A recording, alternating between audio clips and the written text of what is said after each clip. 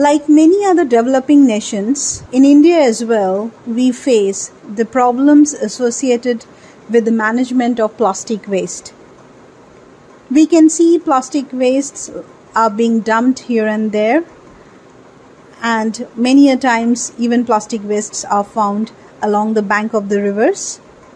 Open burning in the developing economies has not stopped during the pandemic even.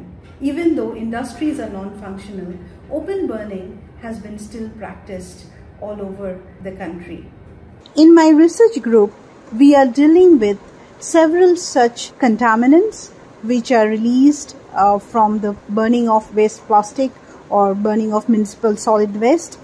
And many of these contaminants are organic contaminants which are persistent and also have uh, the impact of endocrine disruption. What we look at is we look into the multimedia movement of these chemicals in the environment and we try to find out how it can affect the human health.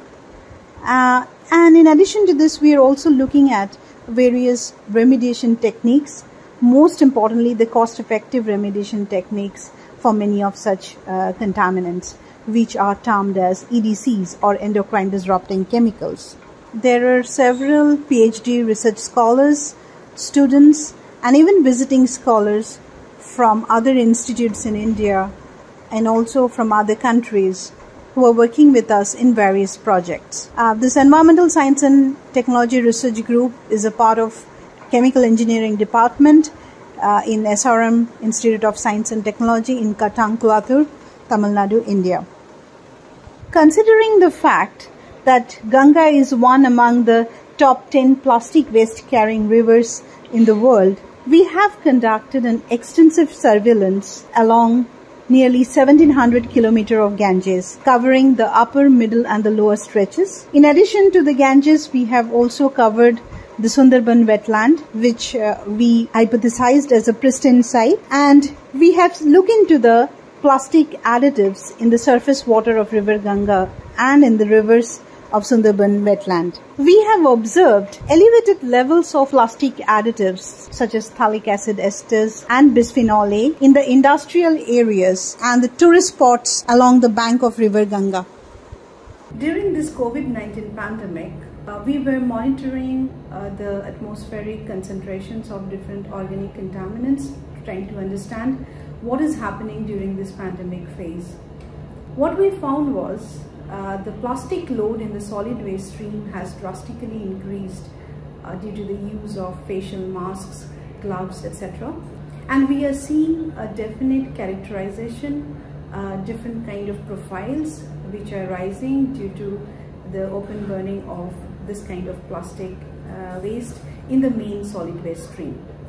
Since most of these chemicals are semi-volatile in nature, due to open burning, these chemicals can be released in the atmosphere. And after the monsoonal shower, due to atmospheric deposition, these chemicals can again end up in the river bodies. So basically, this COVID-19 pandemic has also impacted the quanta of plastic waste entering the solid waste stream especially in the developing economies where these rules are not so stringent so far, we have to look into this dimension.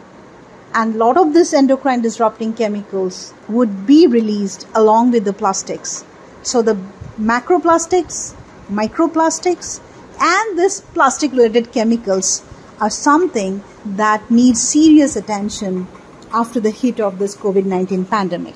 During this pandemic, we were in the fields, we were seeing this new set of problems, and we are trying to work on these problems, trying to understand these problems under the India Norway Cooperation Project on capacity building for reducing plastic and chemical pollution in India. INOPOL. This is an India-Norway Marine Pollution Initiative funded by the Norwegian Embassy and our partners are Norwegian Institute for Water Research, the Energy Research Institute New Delhi, Mu Gamma Consultants, Gurgaon, CIPET, Toxics Link, SRM Institute of Science and Technology. I hope I could share this new findings that we have in terms of added plastic waste in the solid waste stream of India. Thank you very much.